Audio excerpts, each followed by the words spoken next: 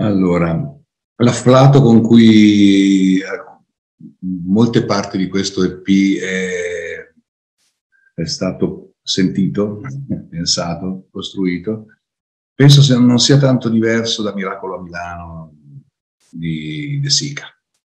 Ovviamente quello è un capolavoro, con le dovute differenze, quello è un capolavoro, questo invece è un tentativo. Eh, la differenza tra i maestri e gli apprendisti sta proprio nella, appunto nella maestria nel trattare le cose. Eh, io e i miei compagni ci sentiamo decisamente apprendisti. Però ecco sì, l'afflato è lo stesso e il, il mio intendimento sta proprio nel cercare l'ingenuità anche dove ormai, come questo mondo, come questo mondo ci insegna, c'è tanto competizione, volontà di eh, prevaricazione. Perciò sì, miracolo a Milano sicuramente.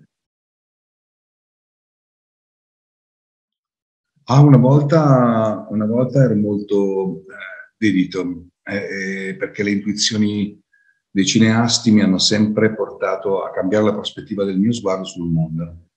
Eh, però da qualche anno a questa parte sono eh, più dedito alla crescita di mia figlia e e perciò negli ultimi anni semplicemente guardo, guardo fuori dalla finestra e guardo le reazioni eh, rispetto all'essenzialità della vita di, di, di Anna, mia figlia, e, e, questo è molto più ha un aspetto di suggerimento molto, molto grande per me in questo momento. C devo dire che la, molte delle stratificazioni del poco che so anzi del poco che non so, sì, dovrei dire, è strettamente legato al mondo della cinematografia e mi viene da pensare a Tarkovsky, ma per certi versi in maniera identica dal punto di vista della potenza evocativa, ma completamente diversa nel, nell'espressione, Jacques Tati. Ecco, voglio dire, Solo Fiori ha molto a che vedere con Monsieur Hulot, è come una riproposizione eh, della vita reale, ma traslata fanta nel fantastico. Ecco.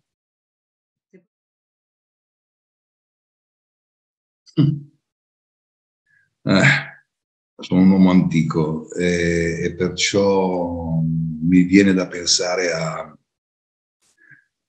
mi viene da pensare a, a Kubrick perché, o a Lynch ecco, però lui se le fa da solo perciò e sicuramente tra l'altro farebbe molto meglio di quanto le farei io. Eh, però Kubrick mi ha sempre affascinato per eh, l'aspetto di trascendenza che ha rispetto a ciò che ehm, legge per poi fare un film o ha letto per poi fare un film, per fare, scrivere il soggetto, eccetera. E, in quella dimensione eh, io e i miei compagni nel nostro piccolo potremmo fare nostro. Mm. Addio, una grande galleria, una grande galleria di, di nel mio Pantheon, una grande galleria. Eh, però forse il mio film preferito è C'era una volta in America di Sergio Leone, perché racchiude infinite volte il senso di eh, cercare, cercare, la posizione proprio nel, nel mondo, doverla negare eh, e dover attendere. Eh, è un film che ogni volta, anche grazie alla colonna sonora di Morricone, mi, eh, commuove. Ecco, semplicemente.